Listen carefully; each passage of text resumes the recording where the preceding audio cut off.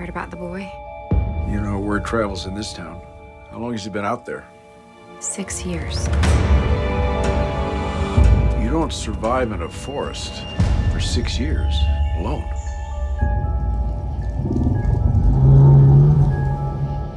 He says he wasn't alone.